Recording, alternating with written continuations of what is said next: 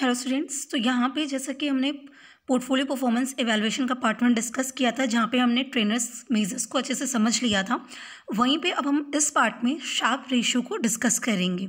Right? right? तो मैं एक बार वापस से रिपीट करती हूँ कि ये जो रेशियो या जो ये मेथड है, वो है क्या चीज़? वो सिंपली जो भी पोर्टफोलियो है ना, जो पोर्टफोलियो कैसा परफॉर्म कर रहा है, जो पोर्टफोलियो में आपके पैसे लगे हुए हैं, वो पर्टिकुलर पोर्टफोलियो कैसा परफॉर्म कर रहा है, उसकी परफॉर्मेंस को इवेलुएट करने का तरीका है है ना? कि जो एग्जिस्टिंग हमारा पोर्टफोलियो वो अच्छा है कि नहीं, जितना रिस्क है, उसके हिसाब से रिटर्न कैसा दे रहा है तो मतलब उसका परफॉर्मेंस कैसा जा रहा है, उसको इवेलुएट करने के लिए हमें इन तीन मिनट से किसी भी मैथड को हम अडॉप्ट करते हैं। तो ये आज हम अब इस, इसमें इस वीडियो में जो हम डिस्कस करेंगे वो कौन सा मॉडल है? That is Sharpe ratio model ठीक है? शार्प मेजर्स या शार्प रेशियो मॉडल तो अब चलिए डिस्कस करते हैं। देखिए शार्प और ट्रेनर्स में ज़्यादा डिफरेंस नहीं है।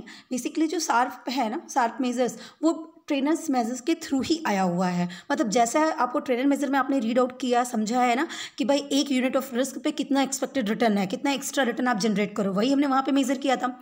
यहाँ पे भी हम यही मेजर करने वाले हैं कि पर्टिकुलर रिस्क पे हमारा कितना एक्स्ट्रा रिटर्न जनरेट हो रहा है। बस डिफरेंस कहाँ पे आ जाएगा? कि सार्प रेशियो क्या करेगा आपका? पूरे पोर्टफोलियो का रिस्क देखेगा ओवरऑल रिस्क देखेगा। मतलब सिस्टमैटिक और अनसिस्टमैटिक दोनों को कैलकुलेट करेगा टोटल देखेगा रिस्क को, जिसको हम स्टैंडर्ड डिविएशन से डिनोट करेंगे। वहीं पे ट्रेनर्स मेथड क्या करता था? सिर्फ़ सिर्फ़ सिस्टमैटिक रिस्क पे फोकस करता था, जिसकी वजह से वो किस पे मेजर करता था? बीटा पे मेजर करता था। तो मतलब वो कहता था कि हम सिर्फ़ सिस्टमैटिक रिस्क को ही पोर्टफोलियो के मेजर करेंगे, उसके हिसाब से आपके पोर्टफोलियो को एनालिसिस करेंगे। तो वहाँ पर वो बीटा से और एक्स्ट्रा रिटर्न को कैलकुलेट कर रहा था कि कितना जनरेट करता है। अगर इतना बीटा है तो फिर कितना एक्स्ट्रा रिटर्न आपने जनरेट किया इसको वो कैलकुलेट करता था। जबकि आपका सार्प मॉडल क्या करने वाला है? पूरे रिस्क ओवरऑल रिस्क को कैलकुलेट करेगा और ओवरऑल रिस्क पे आपने कितना एक्स्ट्रा जनरेट किया उसको डिस्कस करेगा राइट तो यहाँ पे ओवरऑल रिस्क को जो हम करेंगे, वो स्टैंडर्ड डेविएशन से करेंगे कि पोर्टफोलियो का स्टैंडर्ड डेविएशन क्या है? सिर्फ़ सिस्टमेटिक रिस्क पे बात नहीं करेंगे, ठीक है? अब ये जो शार्प रेशियो है, वो किसके थ्रू आया तो जो इकोनॉमिस्ट है विलियम एफ़ शार्प उन्होंने शार्प रेशियो को प्रपोज किया था 1966 में। तो उन्हीं के नाम पे इस मेज़र का नाम पड़ा, इस रेशियो का नाम पड़ा है शार्प रेशियो राइट अब इसका फॉर्मूला देखिएगा। मैंने कहा ना कि सेम है आपका ट्रेनर्स की तरह। वहाँ पे हम बीटा पे बात करते थे, यहाँ पे पोर्टफोलियो के स्टैंडर्ड डेविएशन पे बात करेंगे।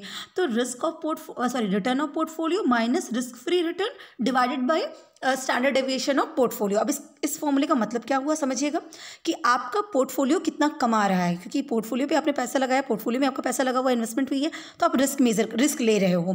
तो ये पोर्टफोलियो कितना कमा रहा है? पर अगर आप कोई रिस्की प्रोजेक्ट में पैसा ना लगाते तो कितना कमाते risk free rate of return है ना? गवर्नमेंट बॉन्ड वगैरह सिक्योरिटीज़ वगैरह तो तो इसका मतलब कि दोनों के डिफरेंस जो आया दैट इज़ एक्स्ट्रा रिटर्न है ना? आपने रिस्क की वजह से इतना एक्स्ट्रा अर्न किया है। तो ये एक्स्ट्रा एक्सपेक्टेड रिटर्न है, और divided by standard deviation of portfolio standard deviation of portfolio देखिए स्टैंडर्ड डेविएशन क्या कहता है? स्टैंडर्ड डेविएशन कहता है ना कि कितना स्टैंडर्ड से डेविएट करा, कितना डिफरेंस क्रिएट कर रहा है, कितना ज़्यादा वेरिएशन है।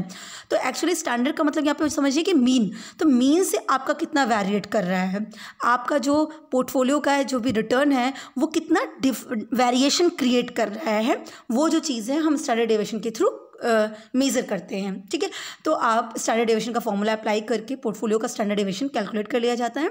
और अब हम यहाँ पे सिंपली देखेंगे कि हम सार रेशो के बेसिस पे इवेलुएट करना तो हमें क्या करना होगा? पोर्टफोलियो का risk minus risk free rate of return securities का जो होता है, जो आ गया एक्सपेक्टेड रिटर्न या एक्स्ट्रा रिटर्न जो हमने जनरेट किया divided by standard deviation of portfolio और ट्रेनर्स में हमने क्या कर दिया था? बीटा कर दिया था। सार्फ है तो स्टैंडर्ड डेविएशन है ना? इस हिसाब से आप इसको याद कर सकते हैं। तो ये हमने जो एब्रीवेशन यूज़ किया, उसका यहाँ पे रिटेगल है। आर मतलब return of portfolio risk free return standard division of portfolio excess return है ना?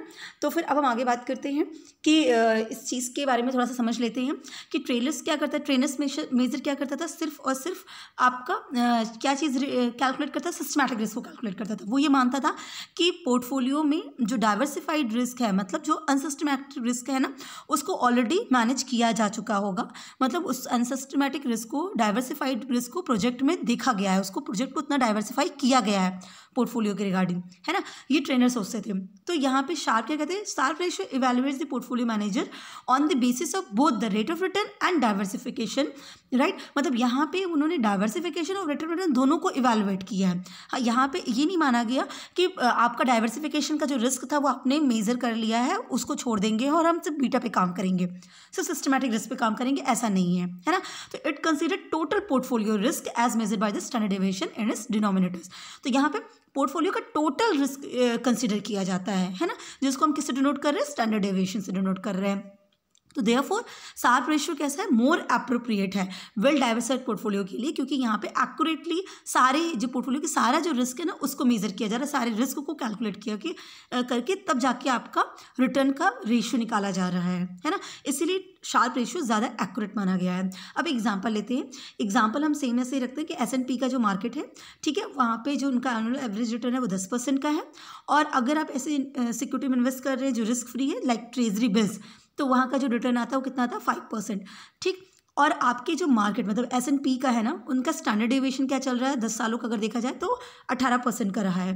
तो determine the Sharpe ratio for the following portfolio managers portfolio managers के आप उनका देखिए, उनका सार्प रेशियो डिसाइड करिए। सार्प रेशियो कितना है, ये बताइए। है ना? और उसी के बेसिस पे आप दिखाएँगे बताएँगे सार्प रेशियो जो निकल के आएगा वो सिंगल डिजिट उसके बेसिस पे आप बता पाएँगे कि कौन सा पोर्टफोलियो अच्छा परफॉर्म कर रहा है।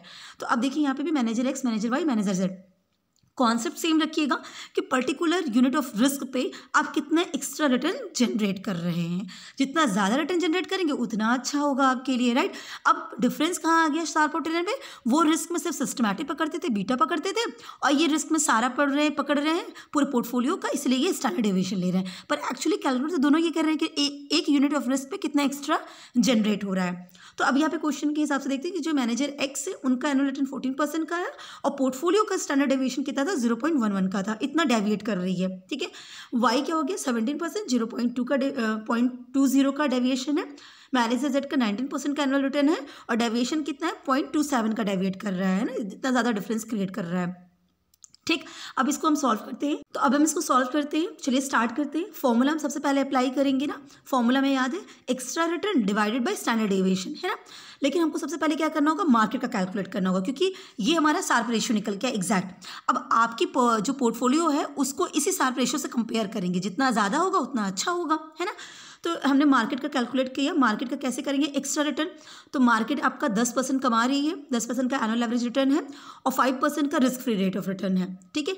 डिवाइडेड बाई हमने क्या कर दिया? एटीन परसेंट का स्टैंडर्ड डेविएशन चूँकि परसेंटेज था तो उसको हमने कन्वर्ट कर लिया पॉइंट्स में। तो टेन डिवाइड बाई हंड्रेड होता है तो वही हो गया zero point one zero five divide by hundred तो क्या हो गया? ज़ीरो पॉइंट ज़ीरो फाइव हो गया। तो ये चीज़ आपको इस तरह से मैंशन कर दी गई। ठीक है? तो आपका आंसर कितना आ गया? Zero point two seven eight मतलब कि इतना रिटर्न आपका जनरेट एक यूनिट ऑफ़ रिस्क पे zero point two seven eight का रिटर्न जनरेट होना चाहिए। ठीक है? इससे कम के पोर्टफोलियो अगर इससे किसी का कम आ रहा है, आपका सार्प रेशियो किसी भी पोर्टफोलियो का तो समझ लीजिएगा कि वो पोर्टफोलियो बिल्कुल भी अच्छा परफॉर्म नहीं कर रही है। तो ये एक स्टैंडर्ड हो गया आपका कि इतना आना चाहिए आपके पोर्टफोलियो का रिटर्न अब हम मैनेजर एक्स का देखते हैं। तो सेम फॉर्मूला एक्स्ट्रा कितना रिटर्न जनरेट कर रही है? फोर्टीन परसेंट कर रही है माइनस फाइव परसेंट रिस्क ले रही है तो फोर्टीन परसेंट का रिटर्न रिस्क नहीं लेती तो कितना करती? फाइव परसेंट तो रिस्क की वजह से वो एक्स्ट्रा रिटर्न कितना पा रही है? नाइन परसेंट का पा रही है। ठीक है? तो ये zero point zero nine divide by zero point one one हो जाएगा। ज़ीरो पॉइंट नाइन आपका divided by zero point one one हो जाएगा। तो आप जब कैलकुलेट करेंगे तो आंसर क्या आ जाएगा आपका? आंसर आपका आ जाएगा zero point eight one eight अब ये देखिए अच्छा परफॉर्म कर रही है एक यूनिट ऑफ़ रिस्क पे, है ना? यहाँ पे बस वही एक यूनिट ऑफ़ रिस्क में टोटल रिस्क इन्वॉल्व है। तो एक यूनिट ऑफ़ रिस्क में जो आपका पोर्टफोलियो कितना जनरेट कर रहा है return zero point eight one eight generate कर रहा है। वाई का कैलकुलेट करते हैं सेम सेंस में सेम तरीके से सेम फॉर्मूले में। तो ये कितना जनरेट कर रहा है zero point six zero zero generate कर रहा है। और वहीं जब जेड का करते हैं तो वो कितना कर रहा है? Zero point five one nine कर रहा है। देखिए तीनों ही पोर्टफोलियो को देखिए तो तीनों ही पोर्टफोलियो अच्छा परफॉर्म कर रहे हैं। क्योंकि मार्केट का रिटर्न कितना जाना चाहिए, जितना रिस्क लिया जा रहा है, उस रिस्क के हिसाब से मार्केट में रिटर्न कितना जनरेट हो जाना चाहिए आपके पोर्टफोलियो का। Zero point two seven eight generate होना चाहिए। अब इससे ज़्यादा अगर आपने जनरेट कर लिया अपने पोर्टफोलियो पर तो आपके पोर्टफोलियो अच्छा परफॉर्म कर रहे हैं। तो तीनों ही पोर्टफोलियो अच्छा परफॉर्म कर रहे हैं, लेकिन अगर बेस्ट की बात करें तो हमारा कौन सा जाएगा? मैनेजर एक्स क्योंकि वो ज़्यादा परफॉर्म कर रहा है right so superior portfolio has a superior risk risk adjusted return इसका मतलब क्या होता है? देखिए रिस्क एडजस्टेड रिटर्न का मतलब होता है कि जितना रिस्क आप गिवन जो गिवन लेवल ऑफ़ रिस्क है, जितना आपको लग रहा है कि इतना रिस्क डाइजेस्ट किया जा सकता है उस रिस्क पे कितना ज़्यादा रिटर्न आप अर्न कर रहे हो ना? तो मतलब जो रिटर्न है वो कितना रिस्क एडजस्ट कर ले रहा है और आपको एक्स्ट्रा रिटर्न दे रहा है। तो यही तो हम सब में कैलकुलेट करते हैं कोई बड़ी चीज़ नहीं, वही चीज़ है जो आप समझ रहे हो कि पर्टिकुलर रिटर्न पे कितना ज़्यादा आप रिस्क कर रहे हो। भाई रिस्क रिटर्न कमा रहे हो। रिस्क कम होना चाहिए रिटर्न ज़्यादा होना चाहिए। तो कम रिस्क पे कितना रिटर्न आप कैलकुलेट कर पा रहे हो, जितना जितना रिटर्न जब कमा पा रहे हो, वही आपके लिए बेटर होता है। तो जिस पोर्टफोलियो का ज़्यादा होगा, उसका मतलब हम ये ज़्यादा समझेंगे कि भाई ये रिस्क को ज़्यादा एडजस्ट कर पा रहा है और रिटर्न ज़्यादा दे पा रहा है। क्लियर है? तो in this case fund headed by manager X is the best portfolio है ना? क्योंकि वो सबसे ज़्यादा हमें रिटर्न प्रोवाइड कर रहा है। मतलब इसने एक यूनिट पे zero point eight one eight का रिटर्न दिया। इसका मतलब उसने रिस्क को ज़्यादा एडजस्ट करके रिटर्न को ज़्यादा प्रोवाइड किया है। रिस्क एडजस्टेड कैपेसिटी इसकी ज़्यादा रही हो रिटर्न अच्छा दिया है। तो ये हमने सार्प रेशियो का कैलकुलेट कर लिया। सो आई होप आपको क्लियर हुआ होगा। Wish you all the best thank you so much